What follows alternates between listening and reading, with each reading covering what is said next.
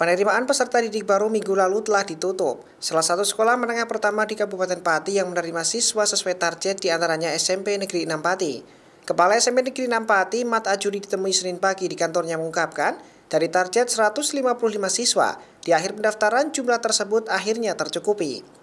Dan Senin tanggal 20 Mei 2024 hingga besok Selasa dilaksanakan daftar ulang siswa yang diterima.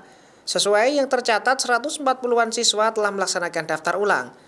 Untuk tahun ini sebenarnya uh, sudah yang sudah pasti itu 8. Yang lainnya itu masih berkoordinasi dengan ASKAP karena sampai dengan hari ini tadi ada beberapa siswa yang mau mendaftar ke KKO tetapi untuk sementara kita daftar dulu di uh, reguler dulu.